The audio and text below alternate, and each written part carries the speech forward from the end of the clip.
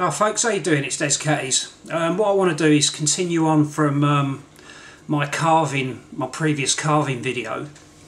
And what I want to do is just kind of show you um, some of the tools that I use. Now, there's, you know, on YouTube there's a thousand and one videos telling you what kit to use and all the rest of it, but this is really just coming from my angle.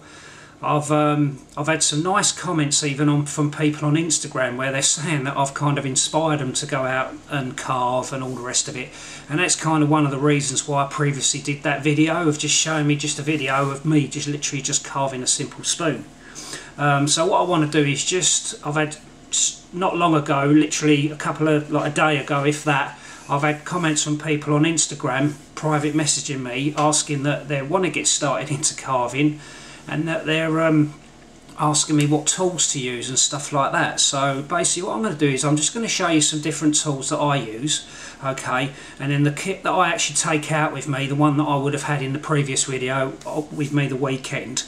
And then what I wish to do as well is that I'm going to obviously link some, um, put some links in in the description where if you are new to carving and you obviously follow my channel and you like the stuff that I do on Instagram and the like, um, you can go over that you can go over press the links and then go over there and purchase these items. And then what I'm looking at doing is obviously setting it up as part of the, with the affiliate with uh, with Amazon.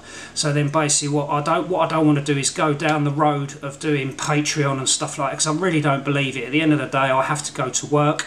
My YouTube channel isn't big enough for me to kind of earn any kind of income from it. So just to sort of stick a few pennies in the bank which obviously benefits both you as the carver or the person that's going to, you know, uh, take on that practice and will obviously help me as well at the same time. You know i mean i'm not going to you know become a millionaire out of it but obviously it just it, it, we help each other out here. Okay so um, stay tuned to the video and i'll show you some stuff. Right so um, when it comes to carving and all the rest of it, I think sometimes it becomes a bit of a minefield for people just starting out. They watch other different people on the television carving with bushcraft knives and everything else. But I think as a beginner, once you've got the actual um, skill of actually handling a knife, okay, and obviously going using the mindset of obviously carrying a first aid kit with you, or even at least having a roll of insulating tape for those occupational hazards of maybe cutting yourself, any knife will do, providing it's sharp enough to obviously remove layers of wood.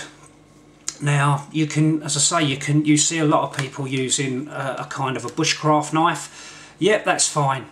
Maybe in a survival situation if that's all you've got on you, or maybe if you're just in a bushcraft situation and that's all you've got with you, the knife's going to work. But for me personally, I think the bushcraft knife, especially when you're starting out, can be a little bit too big. But then again, it could be argued as well the fact, well, it's something that you just get used to as you, you know, whatever it is the tool that you're using, you'll eventually get used to it. Okay, stands to reason. But I think for sort of carving and stuff like that, it's actually not a bad idea just to use some sort of um, small carving tool, smaller bladed stuff.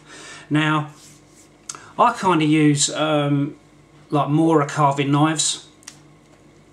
Okay, the reason why I've taken this one out of the sheath is I've literally used a piece of leather, bound it in insulating tape, and then it basically sits in now because this one goes, this one will fit inside my little carving bag, which I'll show you shortly.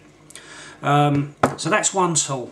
Second tool you can use is maybe one by, this one is actually by um, FlexCut, and this is a TN12 model and uh, it's quite a nice curvy sort of ambidextrous handle. You know you can hold it if you're left-handed if you're right-handed which I am. And this is the kind of tool that I, that I would use normally when I'm sort of when I'm uh, making catapults. If I'm sort of making catapults because I want to get right down into the V-notch and everything else I will use this because it's a nice little blade using the tip or just the tip on the side there. It's nice to get into those finer sort of corners if you like and to round them off and all the rest of it. So there's another option okay but if I was to say the the, the, the sort of um, carving kit that I take out of me most of the time now. I mean, the bags have changed over the years for me personally, but what I like to do is obviously, like most of us, we like to sort of, we, we, we like to try and be a little bit kind of lightweight, a little bit more compact, as it were, as opposed to carrying loads and loads and loads of different equipment,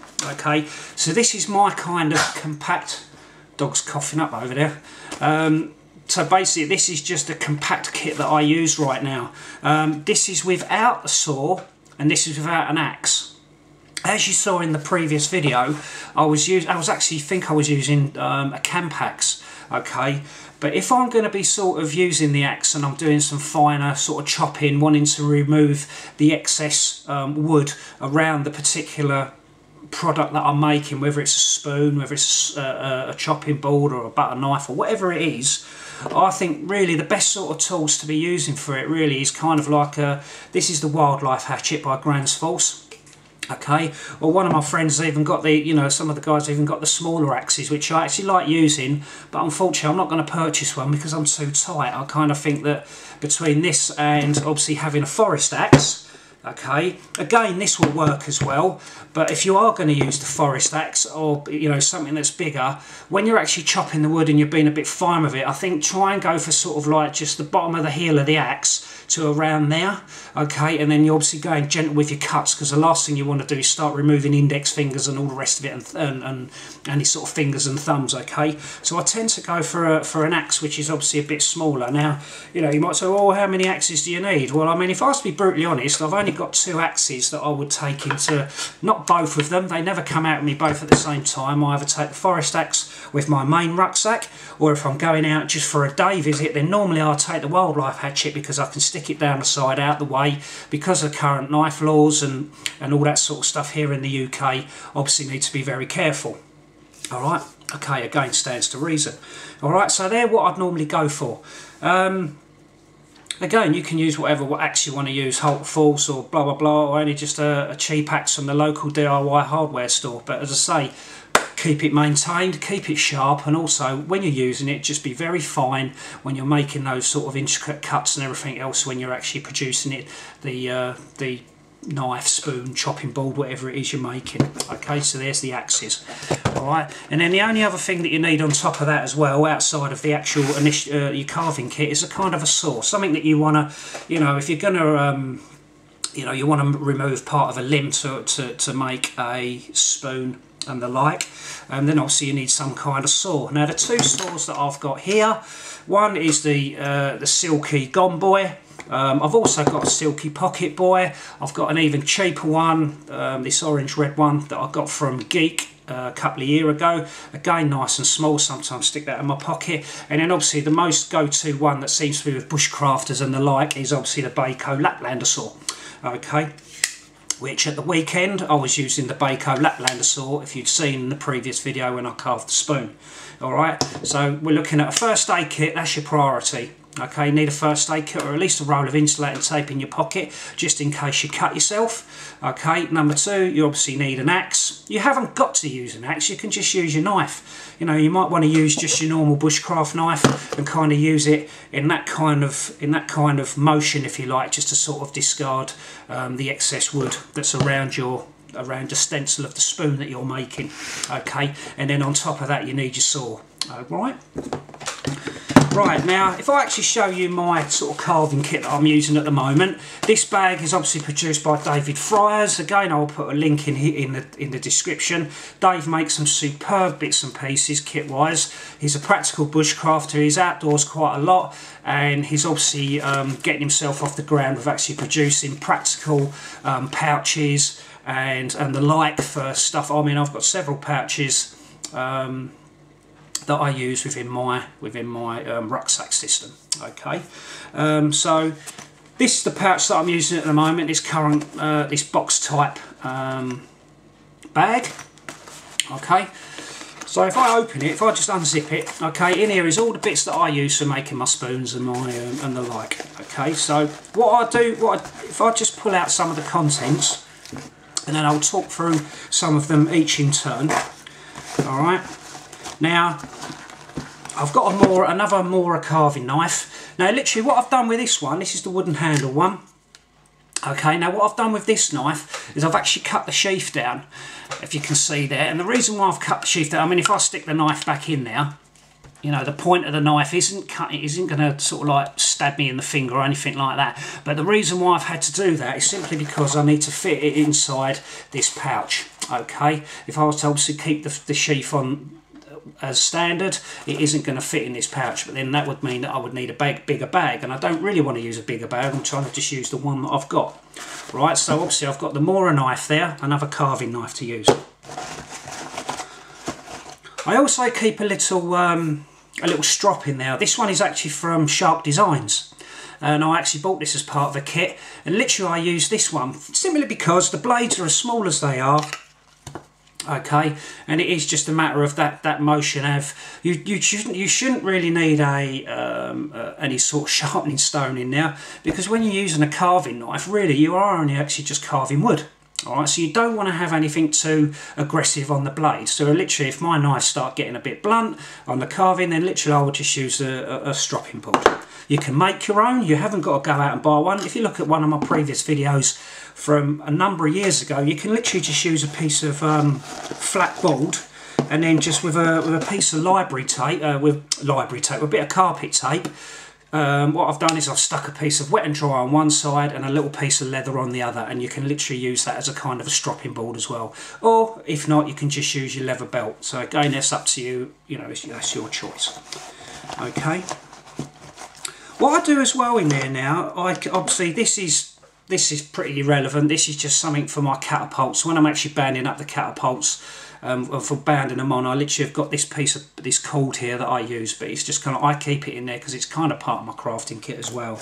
All right, I keep a pencil, yeah, so it's handy again for for uh, marking out the, uh, you know, your design of what it is you're making.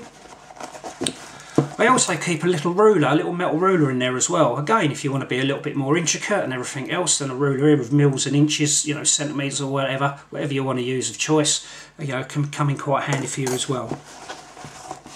Um, I've also got a flex, this is the, um, this is the carving jack by Flexcut.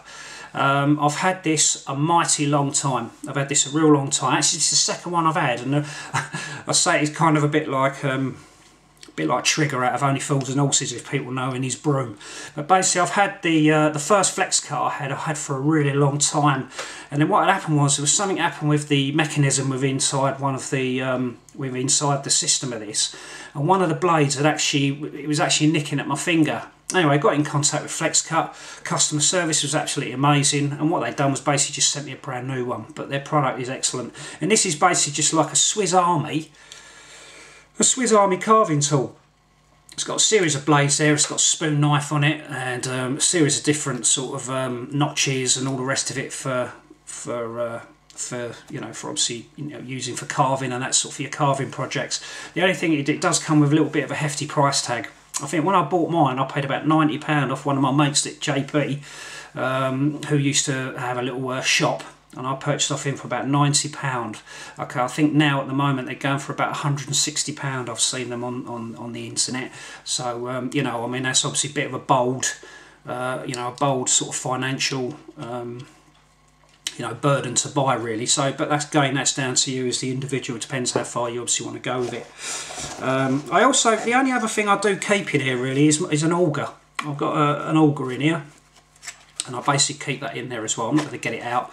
Um, and that'll be just for sort of I'm doing some sort of campcraft stuff where I want to make sort of dowels and everything and, and, and, put wood together and all the rest of it.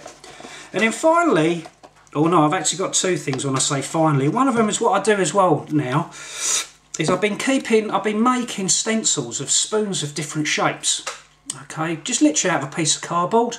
Okay, and what I do is I just fold them over and then just stick them in there. I've got three at the moment that I've made up and literally they're handy just to be able to pencil round mark off your mark off where you're going to cut off your excess wood and then obviously you know it gives you something a little bit for the eye to work on.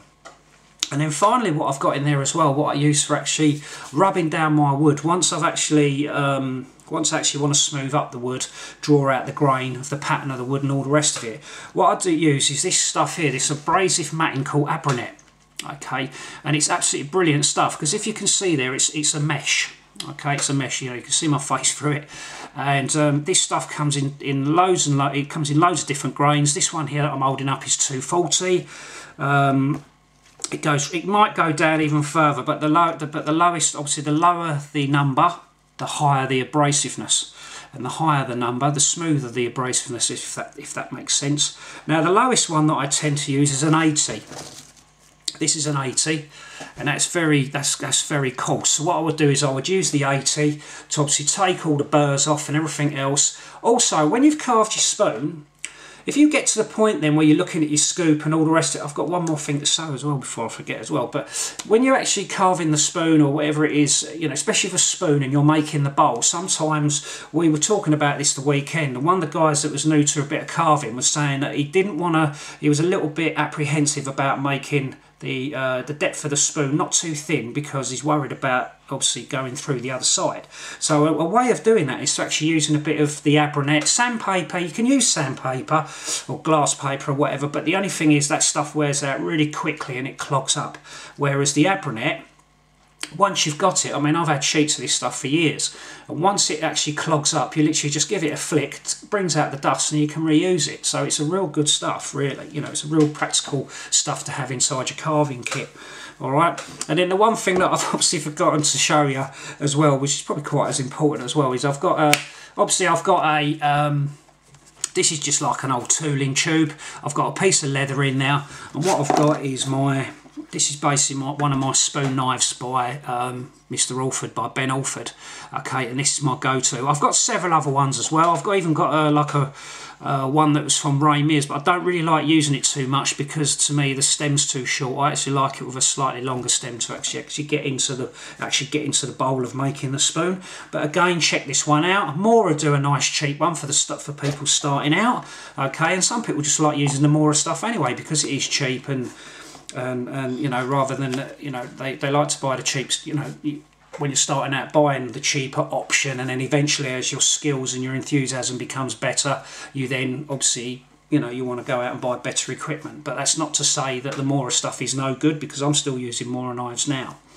Okay the Flexcut if I just go back to the Flexcut one the TN12 literally I've got there this this was just like a tube that would have had like um, like effervescent sort of tablets in now. And all I've done is cut it down packed it out at the bottom of a piece of leather wrap insulating tape around it. So obviously when you pull it out don't just be you know sort of obviously silly about it. Pull it out gently and then you know so you don't want the blade running down there and cutting your hand or whatever. And then obviously it just keeps it nice and tidy and out of the way you know, keeps the blade from sort of, you know, stabbing into bits of kit that you might carry inside your uh, inside your pack or whatever.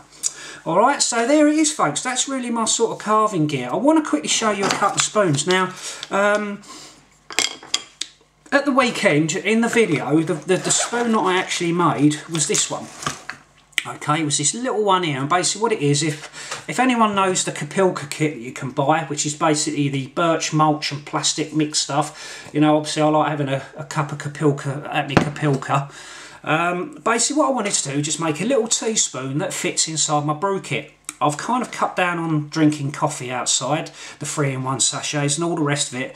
And my mate Barney from Barney's Bimbles, he bought me a lovely uh, Christmas pre uh, birthday present for my 50th and in there was some loose leaf tea. And he's been trying for ages to get me to drink loose leaf tea and to drink more tea. But I do drink tea at home. It's just when I'm out in the woods, when I'm out in the field, I just find that the three in one sachets, coffee sachets, are a lot better to drink.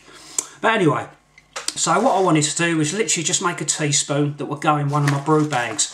So this is my brew bag. Again, another one made by Dave. This one is MTP. And then what I've got in there now, because I'm obviously cutting down on the on the coffee, which ain't a bad thing anyway, I've got one little pouch where I'll keep my loose leaf tea. I've got my infuser. People keep telling me I'm posh now because I'm infusing the tea. Um, and then I use two Nalgene bottles. One holds my honey because I don't have sugar in my tea. And I do like a little bit of a sweetness in my drink. It seems like I'm digressing shortly. And then obviously in this one I keep milk. Alright, so but what I wanted to do is basically make that spoon so it simply fits in with my brew kit and it keeps it all together. Um, I made a second spoon at the weekend, and this is the one that I made, and this one absolutely was beautiful. This is uh, it was hornbeam. It was a piece of green wood. It was actually on the floor. We didn't I didn't limb it from a tree. It was actually on the floor. Um, and when we were cutting some wood for firewood, we worked out that where it was damaged, it would have made some, you know, it would have made some fantastic wood. So, um, you know, some great materials for carving. So, a couple of guys made um, some sort of spoontulas, a kind of a spoon cross spatula, and I actually just made and I actually just made another spoon. And if you look at that, that is actually you know that's come out really, I hope the camera picks that up lovely, but it was beautiful. Really nice there. Okay, so that's another spoon. Will I use it? Who knows? It might end up just in my plastic box. I actually had some nice comments from people telling me that I need to sell them on an Etsy store or something like that, but I did try that once and, and, and kind of gave up on the idea. Here's another spoon. You know, I literally, uh, what, what the reason why you might have seen some spoon carving and the like in some of my videos, really what I'm doing is I kind of, where I go out in the woods sometimes, I always end up coming back with extra pieces of wood. So what I've done is I'm going through all my pieces of wood, everything sycamore, ash and all the rest of it, and I'm just carving stuff up, just making spoons. It's good practice for me. It's a very nice therapeutic subject, uh, practice to do anyway when you're sitting out, sitting with mates around the fire and a cup of tea uh, or a cup of coffee. Not so much alcohol, because it stands to reason, and you're sitting there carving, chatting away and all the rest of it, and before you know it, what you've carved is a nice spoon, chopping board and the like. Now this is the uh, spoon that I use at home. This is my teaspoon. Now my wife cleaned it quite recently, but normally this is clustered with tannin.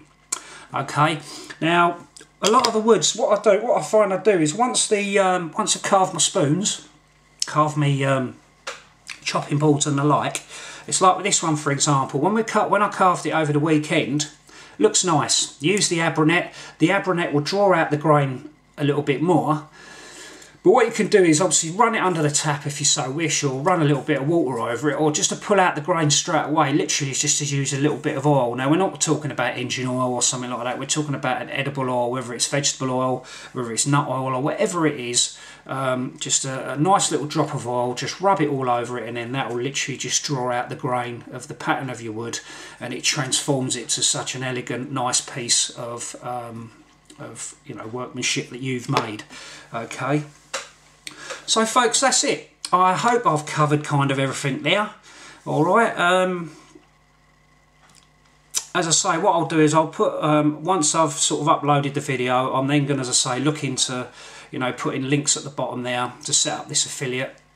So I can obviously, you know, if, if you know, if you're a newcomer to, to sort of carving and stuff like that, you can go over and, and purchase some bits and we can help each other out.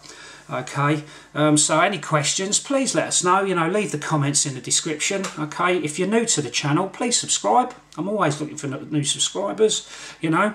Um, and and yeah there it is. So thanks very much. Thanks for watching folks um, it would be great if there are some new car new people that are new to carving. It would be lovely to see your comments and maybe even to see some photos of the stuff that you've made when you actually get into it. Um, you know, I mean, as I say, you know, even down to making you know, your, your spatula and uh, you know little chopping boards and stuff like that as well. Stuff that's nice and handy that you can just carry in your kit.